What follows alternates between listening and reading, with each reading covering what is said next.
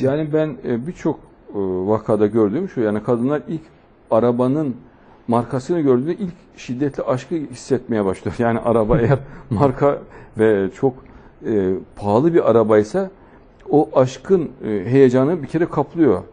E, üstündeki kıyafetler de eğer pahalıysa şahsın, bir de iyi bir okuldan mezunsa, babası da zenginse e, artık o aşk onun e, artık gözünü döndürüyor. Yani şiddetli bir tutkuya dönüştürüyor. Artık eli ayağı boşanıyor. Artık her şeyini verecek hale geliyor öyle tipler ben duyuyorum. Ee, sonra bir gün diyor ki şahıs babam iflas etti ki çok normal yani ekonomik kriz anında ve dolayısıyla ben de iflas ettim diyor. Kadının kafasında bir ışık sönüyor adeta beynin içerisinde. O, o aşk bir anda kayboluyor. Bir nefret ettiği bir mahluk kalıyor geride. Yani büyük bir tiksintiye ve öfkeye dönüşüyor. işte bu Allah'ın bu insana verdiği bir cezadır bu. Ve evet. çok büyük bir aşağılanmadır. Halbuki Allah rızası için sevmiş olsa onun fabrikası da gitse, iş yeri de gitse, gelse de hiç fark etmez. Gelirse Allah'ın bir nimeti olarak gider, e, görür. Giderse de Allah'tan bir hayır olarak görür. Hiçbir şekilde etkilenmez. Ama böyle e, çocuklar küçük yaşta çarpık eğitiliyorlar.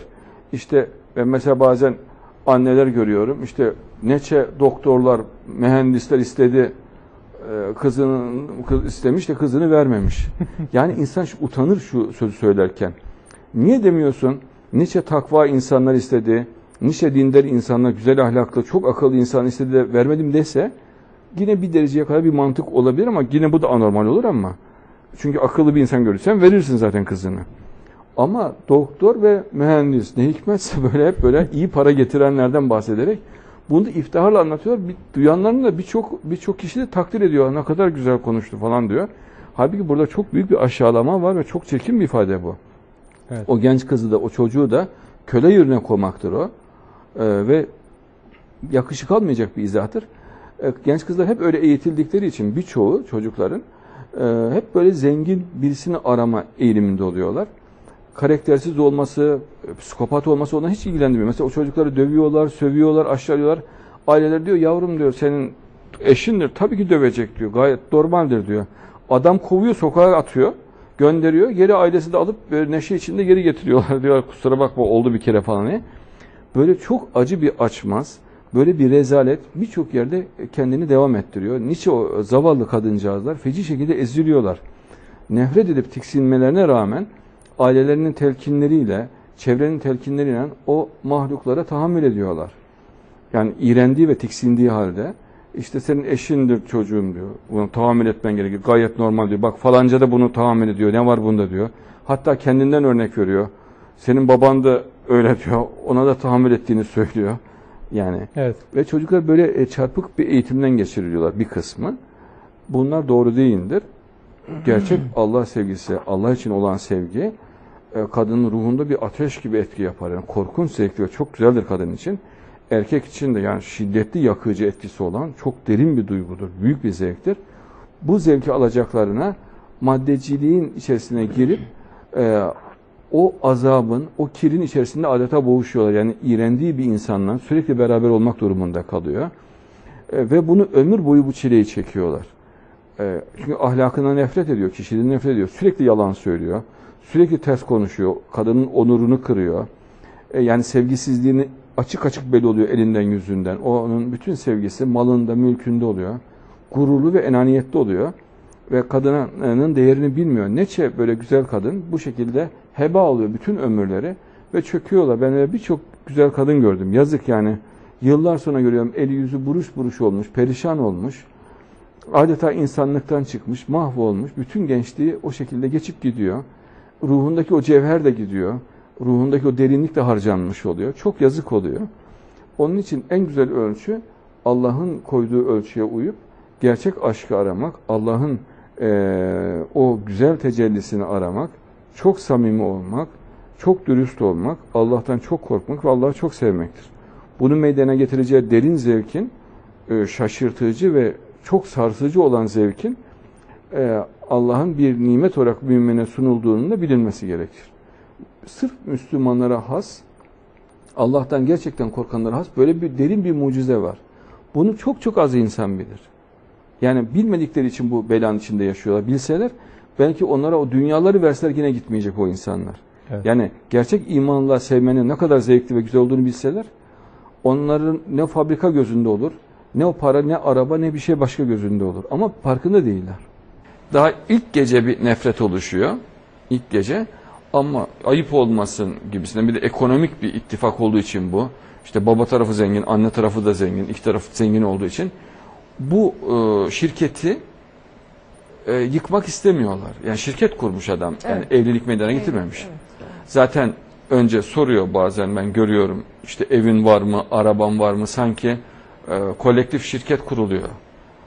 Yani bu nasıl bir sevgidir, bu nasıl bir anlayıştır?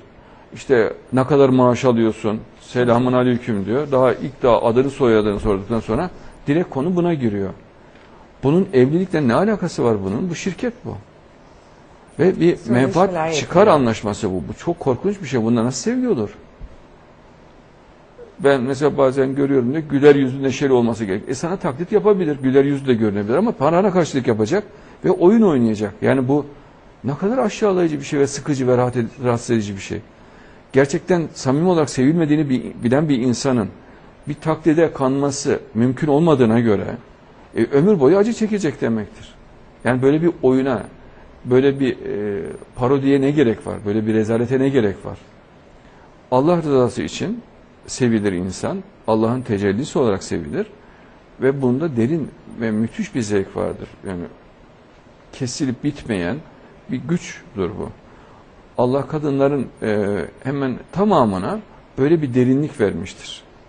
Yani gerçek anlamda eğer kadına bu sunulursa yani tutku, sevgi, derinlik, sadakat yani kadın inanılmaz bir varlık haline dönüşür. Yani o kadın gider onun yerine bir adeta insanüstü bir varlık gelir. Yani onun ruhundaki bütün o güzellikler, derinlik ve tutku şiddetle ortaya çıkmaya başlar. Yani böyle hormonları dumura uğramış insanlar olur. Mesela tedavi olur. Hormonlar çalışır vücudu normale döner ya. Kadının da o zaman vücudu normale döner. Yani beyni normal çalışmaya başlar. Mesela cildi güzelleşir, gözleri güzelleşir, konuşması güzelleşir, saçlarına etki eder, elektriğine etki eder, hitaplarına etki eder. Yani bambaşka bir varlığa dönüşür. Kadınların birçoğunun çirkinleşmesinin, çökmesinin nedeni bu psikolojik nedenlerdir. Yani gerçek sevgiyi yaşayamamak kadını feci şekilde çökertir. Mesela ben genç yaşta yani bayağı yaşlanmış kadınlar görüyorum. Bunlar hep o çektikleri acıdan ve sevgisizliktendir. Evet. Yani kadını sevgi güzelleştirir, tutku güzelleştirir. Bu olmadığında da inanılmaz hızla çöküyorlar. Mesela ben genç kız evleniyor, bayağı güzel, dinç kız. İki sene sonra görüyorum, teyze olmuş. Yani çökmüş, perişan olmuş. Bunun sebebi işte sevgisizliğin vücut hücrelerini mahvetmesidir. Çünkü vücut hücrelerinin tamamı sevgiye göre yaratılmıştır. Yani gözler bile sevgiyi anlar. Mesela sevgide göz bambaşka bir şekil alır. Ses bambaşka bir şekil alır. Mesela seven bir insanın sesiyle sevmeyen bir insanın sesi çok farklıdır. Sevenin gözüyle sevmeyenin gözü çok farklıdır.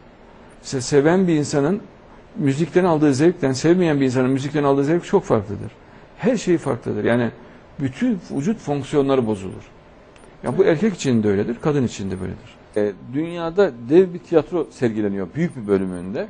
E, Birçok tiyatronun e, oyuncusu var. Karşılıklı bir oyun oynuyorlar. Bu doğru değil. İşte bu ahir zamanda Mehdi devrinde bu tiyatronun perdesi kapanacak. Ve insanın artık gerçek insan olacaklar. Gerçek sevgiyle yaklaşacaklar. Gerçek aklı ortaya çıkaracaklar. Gerçek yüzlerini gösterecekler. Artık maskeler kalkacak. İnşallah. İnsanlar maskeyle geziyor. Büyük bölümü maskeyle geziyor. Bu maskeler kalkacak. Maskelerden dolayı da insanlar mutlu değil. Ben dışarı çıktığımda insanların hiçbirinin yüzünü güler göremiyorum. Mutlu göremiyorum. Çünkü maskeyle karşılaşıyor. Gerçek insan insanın hoşuna gider. Gerçek yüz insanın hoşuna gider. Maske insanı çok rahatsız eder. Yapmacıklık insanı çok rahatsız eder. Ee, ben birçok evli kadın görüyorum, duyuyorum. Ee, son derece huzursuzlar. Yani yüzleri bir karış asık. Ee, her gün e, yani az da olsa bir kavga, gürültü. Hatta eşlerinin eve gelmesini istemiyorlar. Mesela çalışan e, kişiler oluyor. Emekli oluyor. Emekli olduktan sonra evine gelmesini istemiyor. Yani sürekli dışarıda olmasını istiyor kadınlar. Duyuyorum ben. Bu ne demektir? Nefretin diğer bir adı işte bu. İnsan seviyorsa sevdiğinin her saniyesinin yanında geçmesini ister. Her dakikasının yanında geçmesini ister. Çünkü ona doyamaz yani. E, nefret ediyorsa e, sürekli işte git kahveye diyor adama. Yahut kadınla, kadınsa kadının emekli olmasına tahammül edemiyor. Onu da git bir yere de arkadaşlarına işte konken partisine git diyor. Bilmem güne git diyor. Fakat ortalarda görünmüyor diyor. E bu aleni bir nefrettir işte bu. Bu çok çok çirkin. Zaten bir araya geldiklerinde anında kavga başlıyor. E, ben bunu hep dışarıdaki kişilerden duyuyorum yani birçok insandan bunlar, bu tip şeyler geliyor. Ya çok komik olaylar da var yani duyduğum, çok şaşırtıcı olaylar da var. Yani bir alışkanlıkla götürüyorlar evliliği. Yani eli mahkum adeta. Yani e, mesela kadınların birçoğu çalışamayacağı için adamla evli kalıyor. Yani başka para kaynağı olmadığı için. Geçenlerde gördüm kadını feci şekilde dövmüş hamile kadın. Yani kadın e, adeta koma halinde hastaneye kaldırılmış. Çocuğun düşürme riski var. E, kadın şikayetçi olacak mısın diyor. Kadın şikayetçi olmayacağını söylüyor. Çünkü başka bakacak kimse yok diyor. E, Evet. Çocuklara da bak- bakacak başka kimse yok diyor. E, mecburen ona e, maddi çıkar için tahammül edeceğini söylüyor. Yani adam kıyasıya onu hamile halinde dövmüş. Ağzını burnunu parçalamış. E, muhtemelen karnını da vurdu. Her yerine vurdu. Yani e, nasıl bir ortam olduğu açık belli. Kadın buna rağmen geri dönüyor. Yani bu işte ahir zamanın e, facia özelliklerinden bir tanesidir. Yani çok acı olaylardan bir tanesidir. Halbuki bir mümin kadın ancak Allah rızası için evlenir. Allah'ın rızasını en çok buluyorsa evlenir. E, onun dışında bu tip olaylar gelişiyor. Bunlar da çok ürkütücü tabii, çok kötü.